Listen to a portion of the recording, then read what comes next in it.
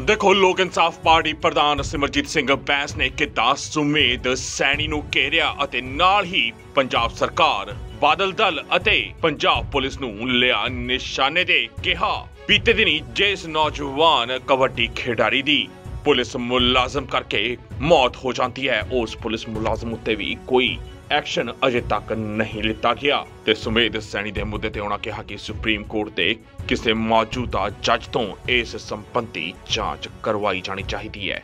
ਹੋਰ ਕੀ ਕੁਝ ਕਿਹਾ ਤੇ ਕੇਸ ਤੇ ਸਾਦੇ ਨਿਸ਼ਾਨੇ ਮਾਰਦੇ ਇੱਕ ਨਜ਼ਰ। ਸਤਿ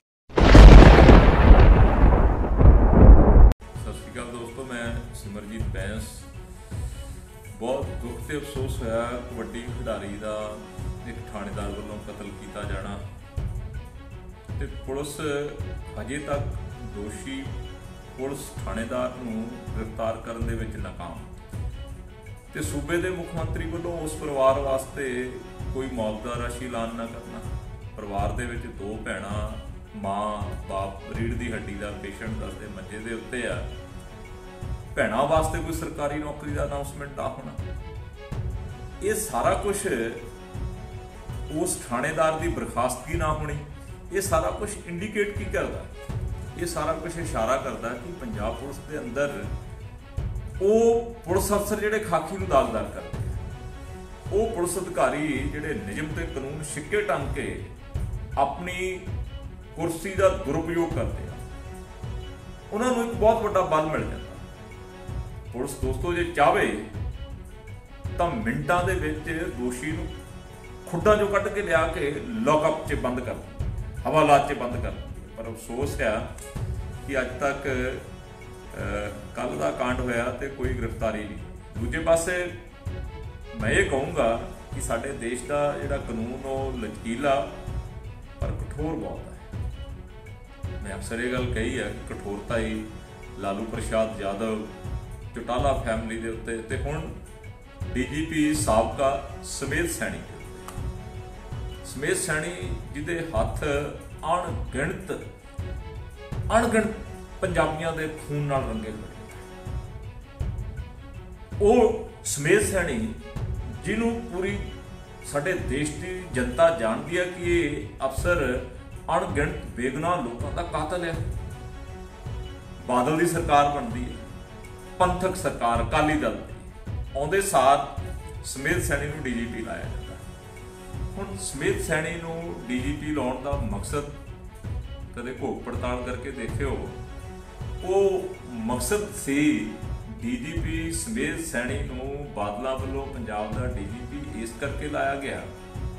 ਬਾਦਲਾਂ ਦੇ ਉੱਤੇ ਕੈਪਟਨ ਅਮਰਿੰਦਰ ਸਿੰਘ ਨੇ 2002 ਤੋਂ 2007 ਵਾਲਾ ਕੈਪਟਨ ਅਮਰਿੰਦਰ ਹੋਣ ਵਾਲਾ ਨਹੀਂ, ਕੈਪਟਨ ਅਮਰਿੰਦਰ ਸਿੰਘ ਨੇ ਕਰਪਸ਼ਨ ਦੇ ਮੁਕੱਦਮੇ ਦਰਜ ਕੀਤੇ ਇਸ ਪਰਿਵਾਰ ਦੇ ਤੇ ਸਮੇਤ ਸੈਣੀ ਨੇ ਤਕਰੀਬਨ 120 ਗਵਾਹ ਮੁਕਰਾਏ ਧੌਂਸ ਦੇ ਕੇ ਆਪਣੇ ਮਾੜੇ ਚਰਿੱਤਰ ਕਾਰਨ ਡਰਾਬੇ ਦੇ ਕੇ ਬਾਦਲ 120 ਜਦੋਂ ਗਵਾਹ ਮੁਕਰ ਗਏ ਤੇ ਬਾਦਲ ਪਾਕ ਸਾਹਿਬ ਬਰੀ ਹੋ ਕੇ ਘਰੇ ਆ ਗਏ। ਔਰ ਬਾਦਲਾਂ ਨੇ ਆਪਣੀ ਸਰਕਾਰ ਬਣਦੇ ਸਾਰ ਡੀਜੀਪੀ ਸਮੇਤ ਸੈਣੀ ਨੂੰ ਪੰਜਾਬ ਪੁਲਿਸ ਦਾ ਡੀਜੀਪੀ ਥਾਪਤਾ ਫਿਰ ਗੁਰੂ ਗ੍ਰੰਥ ਸਾਹਿਬ ਅਪਮਾਨ ਧਰਤੀ ਸੰਗਤ ਦੇ ਉੱਤੇ ਗੋਲੀਆਂ ਚੱਲਦੀਆਂ ਨੇ। ਇਹੀ ਸਮੇਤ ਸੈਣੀ ਡੀਜੀਪੀ ਹੈ। ਤੇ ਅਕਾਲੀ ਦਲ ਦੇ ਅੰਦਰੋਂ ਇੱਕ ਬਹੁਤ ਵੱਡਾ ਦਬਾਅ ਪੈਂਦਾ। ਉਸ ਦਬਾਅ ਕਰਕੇ ਸਮੇਤ ਸੈਣੀ ਨੂੰ ਪੰਜਾਬ ਪੁਲਿਸ ਦੇ ਡੀਜੀਪੀ ਦੇ ਉਹਦੇ ਤੋਂ ਪਰੇ ਕੀਤਾ ਜਾਂਦਾ। ਹੁਣ ਅੱਜ ਸੋਚਣ ਵਾਲੀ ਗੱਲ ਆ, ਬਹੁਤ ਸਾਰੇ ਪੰਜਾਬ ਦੇ ਅੰਦਰ ਪਰਿਵਾਰ ਇਦਾਂ ਦੇ ਆ ਜਿਹੜੇ ਦਰ ਦਰ ਦੀਆਂ ਠੋਕਰਾਂ ਖਾਂਦੇ ਫਿਰਦੇ ਕਿਸੇ ਦਾ ਪੁੱਤ, ਕਿਸੇ ਦਾ ਭਰਾ, ਕਿਸੇ ਦਾ ਬਾਪ, ਕਿਸੇ ਦੀ ਮਾਂ, ਕਿਸੇ ਦਾ ਟੱਬਰ ਸਮੇਤ ਸੈਣੀ ਤੇ ਇਹਦੀ ਸਾਥੀਆਂ ਦੀ ਜੁੰਡਲੀ ਨੇ ਕਤਲ ਕੀਤੇ ਜਿਨ੍ਹਾਂ ਨੂੰ ਹਜੇ ਤੱਕ ਨਿਆਂ ਨਹੀਂ ਮਿਲਿਆ। Captain Amarinder Singh Chauhan supreme court ਤੇ ਕਿਸੇ ਮੌਜੂਦਾ ਜੱਜ ਤੋਂ ਜਾਂਚ ਕਰਾਉਣ ਕਿ ਕਿੰਨੇ ਕਤਲ ਪੰਜਾਬ ਦੇ ਵਿੱਚ ਇਸ ਸਮੇਤ ਸੈਣੀ ਦੀ ਜੁੰਡਲੀ ਨੇ ਕੀਤੇ ਆ। ਇਸ ਜੁੰਡਲੀ ਦੇ ਵਿੱਚ ਕਿਹੜੇ ਕਿਹੜੇ ਉਸ ਵੇਲੇ ਦੇ ਅਫਸਰ ਮੌਜੂਦ ਹੈਗੇ ਆ, ਸ਼ਾਮਲ ਹੈਗੇ ਆ। ਤੇ ਦੂਜਾ ਬਾਦਲਾਂ ਦੇ ਨਾਲ ਸਾਂਝ ਪਾਂਝ ਕੀ ਹੈਗੀ ਆ ਸੈਣੀ ਦੀ? ਬਾਦਲਾਂ ਦਾ ਸ਼੍ਰੋਮਣੀ ਗੁਰਦੁਆਰਾ ਪ੍ਰਬੰਧਕ ਕਮੇਟੀ ਵਾਲਾ ਵਕੀਲ ਲਾਇਆ ਜਾਂਦਾ ਸਮੇਤ ਸੈਣੀ ਵਾਸਤੇ। ਜਦੋਂ ਪੰਜਾਬ ਦੇ ਲੋਕਾਂ ਦਾ ਇੱਕ ਗੁੱਸਾ ਜਵਾਲਾਮੁਖੀ ਬਣ ਕੇ ਫੁੱਟਦਾ, ਤੇ ਫਿਰ ਬਾਦਲ ਉਹਨੂੰ ਵਿਡਰਾ ਕਰਾਉਂਦੇ ਆ ਕਿ ਤੂੰ ਵਾਪਸ ਆ ਜਾ, ਕਿਉਂਕਿ ਸ਼੍ਰੋਮਣੀ ਗੁਰਦੁਆਰਾ ਪ੍ਰਬੰਧਕ ਕਮੇਟੀ ਦਾ ਵੱਡਾ ਅਹੁਦਾ ਉਸ ਵਕੀਲ ਦੇ ਕੋਲੇ। ਸੋ ਜੇ ਅੱਜ ਸਮੇਤ ਸੈਣੀ ਲੁਕਿਆ ਹੋਇਆ, ਭੱਜਿਆ ਹੋਇਆ, ਤੇ ਉਹ ਨਲੈਕੀ ਕਿਹਦੀ ਹੈਗੀ ਹੈ? ਉਹ ਕਮਜ਼ੋਰੀ, ਉਹ ਨਲੈਕੀ ਸਾਡੇ ਗਵਰਨਮੈਂਟ ਸਾਡੇ ਸਿਸਟਮ ਦੀ ਹੈ ਨਾ। ਇਹੀ ਕੰਮ ਕਿਸੇ ਆਮ ਬੰਦੇ ਨੇ ਕੀਤਾ ਹੁੰਦਾ ਤੇ ਹੁਣ ਨੂੰ ਪੁਲਿਸ ਨੇ ਲੱਭ ਕੇ ਉਹਨੂੰ ਬੰਦ ਕੀਤਾ ਹੁੰਦਾ। ਤੇ ਅੱਜ ਸੁਮੇਧ ਸੈਣੀ ਗਿਆ ਹੋਇਆ ਤੇ ਇਧਰੋਂ ਪਰਮਜੀਤ ਸਿੰਘ ਥਾਣੇਦਾਰ ਜਿਹਨੇ ਇੰਟਰਨੈਸ਼ਨਲ ਕਬੱਡੀ ਖਿਡਾਰੀ ਮਾਰਿਆ ਅੱਜ ਉਹ ਪੁਲਿਸ ਦੀ ਪਕੜ ਤੋਂ ਬਾਹਰ ਹੈਗਾ। ਮੈਂ ਜਿੱਦਣ ਥਾਣੇਦਾਰ ਦਾ ਹੱਥ ਕੱਟਿਆ ਗਿਆ, ਮੈਂ ਨਿੰਦਾ ਕਰਦੇ ਹੋਏ ਮੈਂ ਕੋਈ ਤਾਰੀਫ ਨਹੀਂ ਕੀਤੀ, ਮੈਂ ਨਿੰਦਾ ਕੀਤੀ। ਮੈਂ ਤਾਰੀਫ ਇਸ ਗੱਲ ਦੀ ਕੀਤੀ ਕਿ ਉਹਦਾ ਹੱਥ ਜੋੜ ਗਿਆ ਗੁਰੂ ਦਾ ਸ਼ੁਕਰਾਨਾ, ਇਲਾਜ ਦੀ ਤਾਰੀਫ ਕੀਤੀ। ਪੁਲਿਸ ਨੇ ਕਾਰਵਾਈ ਕਰਕੇ ਮਿੰਟੋ ਮਿੰਟੀ ਸਾਰਾ ਕੁਝ ਬੇਕਸੂਰੇ ਫੜ ਕੇ ਵੀ ਅੰਦਰ ਤੋਂ ਤੁੰਮਤੇ ਮੈਂ ਉਦੋਂ ਇਹ ਗੱਲ ਕਹੀ ਸੀ ਕਿ ਉਹ ਪੁਲਿਸ ਅਧਿਕਾਰੀ ਜਿਹੜੇ ਨਿਯਮਾਂ ਅਨੁਸਾਰ ਆਪਣੀ ਡਿਊਟੀ ਕਰਦੇ ਆ, ਜਿਹੜੇ ਕਾਨੂੰਨ ਦਾਇਰੇ ਦੇ ਵਿੱਚ ਰਹਿ ਕੇ ਆਪਣੀ ਡਿਊਟੀ ਡਿਸਚਾਰਜ ਕਰਦੇ ਆ, ਉਹਨਾਂ ਨੂੰ ਸਲਾਮ ਹੈ। ਪਰ ਜਿਹੜੇ ਪੁਲਿਸ ਅਧਿਕਾਰੀ ਆਪਣੇ ਆਪ ਨੂੰ ਧਰਤੀ ਦਾ ਰੱਬ ਸਮਝ ਕੇ ਨਿਯਮ ਤੇ ਕਾਨੂੰਨ ਛਿੱਕੇ ਟੰਗ ਕੇ ਲੋਕਾਂ ਤੇ ਤਸ਼ੱਦਦ ਪਾਉਂਦੇ ਲੋਕ ਇਨਸਾਫ ਪਾਰਟੀ, ਹਰ ਵਰਕਰ, ਹਰ ਮੈਂਬਰ ਮੇਰੇ ਸਮੇਤ ਉਹਨਾਂ ਪੁਲਿਸ ਅਧਿਕਾਰੀਆਂ ਦਾ ਵਿਰੋਧ ਕਰੇਗਾ, ਲੋਕਾਂ ਦੇ ਨਾਲ ਖੜੇਗਾ। ਬਹੁਤ ਸਾਰੇ ਲੋਕਾਂ ਨੇ ਇਸ ਗੱਲ ਨੂੰ ਗਲਤ ਰੰਗਤ ਦਿੱਤੀ। ਮੈਂ ਅੱਜ ਫੇਰ ਕਹੂੰਗਾ ਕਿ ਕੋਈ ਪੁਲਿਸ ਅਧਿਕਾਰੀ ਸਪਾਈ ਤੋਂ ਲੈ ਕੇ ਡੀਜੀਪੀ ਤੱਕ, ਜਿਹੜਾ ਨਿਯਮ ਤੇ ਕਾਨੂੰਨ ਅਨੁਸਾਰ ਡਿਊਟੀ ਕਰਦਾ, ਉਹਦਾ ਧੰਨਵਾਦ ਹੈ। ਸਲਾਮ ਕਰਦੇ ਹਾਂ ਪਰ ਜਿਹੜਾ ਨਿਯਮ ਤੇ ਕਾਨੂੰਨ ਲੋਕਾਂ ਤੇ ਤਸ਼ੱਦਦ ਢਾਏਗਾ, ਲੋਕ ਇਨਸਾਫ ਪਾਰਟੀ ਉਸ ਪੁਲਿਸ ਅਫਸਰ ਦੇ ਵਿਰੋਧ ਚ ਖੜੇਗੀ। ਸੋ ਮੇਰੀ ਮੁੱਖ ਮੰਤਰੀ ਸਾਹਿਬ ਨੂੰ ਅਪੀਲ ਹੈ ਕਿ ਉਸ ਪੀੜਤ ਪਰਿਵਾਰ ਨੂੰ ਤੁਰੰਤ 1 ਕਰੋੜ ਰੁਪਏ ਦੀ ਰਾਸ਼ੀ, ਕੰਪਨਸੇਸ਼ਨ, ਮੁਆਵਜ਼ਾ ਇੱਕ ਭੈਣ ਨੂੰ, ਉਸ ਕਬੱਡੀ ਖਿਡਾਰੀ ਦੀ ਭੈਣ ਨੂੰ, ਇੱਕ ਸਰਕਾਰੀ ਨੌਕਰੀ ਤੇ ਇਸ ਥਾਣੇਦਾਰ ਦੀ ਤੁਰੰਤ ਬਰਖਾਸਤਗੀ ਡਿਸਮਿਸ ਤੇ ਤੁਰੰਤ ਨੂੰ ਗ੍ਰਿਫਤਾਰ। ਇਹ ਵੀ ਸੁਣਨ ਦੇ ਵਿੱਚ ਆਇਆ ਕਿ ਇਹ ਪਰਮਜੀਤ ਸਿੰਘ ਥਾਣੇਦਾਰ ਮੈਨੂੰ ਉਸ ਇਲਾਕੇ ਦੇ ਬਹੁਤ ਸਾਰੇ ਲੋਕਾਂ ਦੇ ਫੋਨ ਆਏ ਕਿ ਜਿੰਨਾ ਚਿੱਟਾ ਵਿਕ ਰਿਹਾ ਉਸ ਏਰੀਏ ਦੇ ਵਿੱਚ, ਪਰਮਜੀਤ ਸਿੰਘ ਥਾਣੇਦਾਰ ਦੀ ਸਰਪ੍ਰਸਤੀ ਦੇ ਥੱਲੇ ਹੁਣ ਪੁਲਿਸ ਅਫਸਰ ਇੱਕ ਏਐਸਆਈ ਥਾਣੇਦਾਰ ਨੂੰ ਗੱਡੀ ਦੇ ਵਿੱਚ ਪਰਦੇ ਟੰਗਣ ਦੀ ਕੀ ਜ਼ਰੂਰਤ ਹੈ? ਸੋ ਇਹ ਗੱਲਾਂ ਸਵਾਲ ਸਰਕਾਰ ਤੇ ਪੁਲਿਸ ਪ੍ਰਸ਼ਾਸਨ ਦੇ ਕੋਲੋਂ ਜਵਾਬ ਮੰਗਦੇ।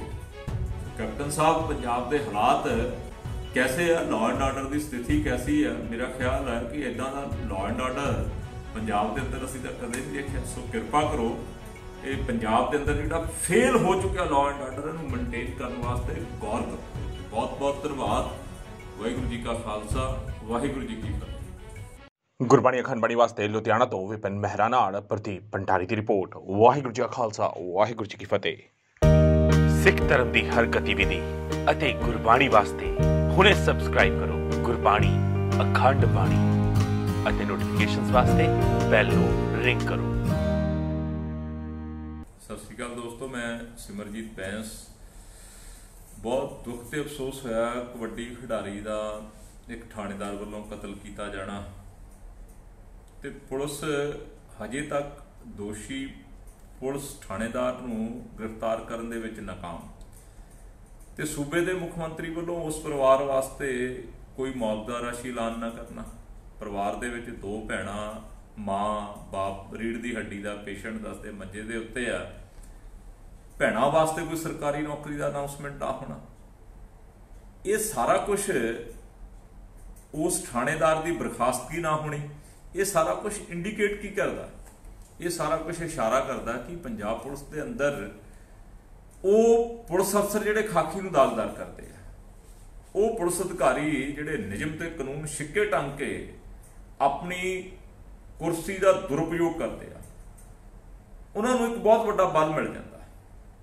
ਪੁਲਿਸ ਦੋਸਤੋ ਜੇ ਚਾਵੇ ਤਾਂ ਮਿੰਟਾਂ ਦੇ ਵਿੱਚ ਦੋਸ਼ੀ ਨੂੰ ਖੁੱਡਾਂ ਚੋਂ ਕੱਢ ਕੇ ਲਿਆ ਕੇ ਲੌਕਅਪ 'ਚ ਬੰਦ ਕਰ ਦਿੰਦੀ। ਹੈ ਹਵਾਲਾਤ 'ਚ ਬੰਦ ਕਰ ਦਿੰਦੀ ਹੈ। ਪਰ ਅਫਸੋਸ ਹੈ ਕਿ ਅੱਜ ਤੱਕ ਕੱਲ ਦਾ ਕਾਂਡ ਹੋਇਆ ਤੇ ਕੋਈ ਗ੍ਰਿਫਤਾਰੀ ਨਹੀਂ ਹੋਈ। ਦੂਜੇ ਪਾਸੇ ਮੈਂ ਇਹ ਕਹੂੰਗਾ ਕਿ ਸਾਡੇ ਦੇਸ਼ ਦਾ ਜਿਹੜਾ ਕਾਨੂੰਨ, ਉਹ ਲਚਕੀਲਾ ਪਰ ਕਠੋਰ ਬਹੁਤ ਹੈ। ਮੈਂ ਅਕਸਰ ਇਹ ਗੱਲ ਕਹੀ ਹੈ ਕਿ ਕਠੋਰਤਾ ਹੀ ਲਾਲੂ ਪ੍ਰਸ਼ਾਦ ਯਾਦਵ ਚੁਟਾਲਾ ਫੈਮਿਲੀ ਦੇ ਉੱਤੇ, ਤੇ ਹੁਣ ਡੀਜੀਪੀ ਸਾਬਕਾ ਸਮੇਤ ਸੈਣੀ ਦੇ ਉੱਤੇ। ਸਮੇਤ ਸੈਣੀ ਜਿਹਦੇ ਹੱਥ ਅਣਗਿਣਤ ਅਣਗਿਣਤ ਪੰਜਾਬੀਆਂ ਦੇ ਖੂਨ ਨਾਲ ਰੰਗੇ ਹੋਏ। ਉਹ ਸਮੇਤ ਸੈਣੀ ਜਿਹਨੂੰ ਪੂਰੀ ਸਾਡੇ ਦੇਸ਼ ਦੀ ਜਨਤਾ ਜਾਣਦੀ ਹੈ ਕਿ ਇਹ ਅਫਸਰ ਅਣਗਿਣਤ, ਬੇਗਨਾਹ ਲੋਕਾਂ ਦਾ ਕਾਤਲ ਹੈ।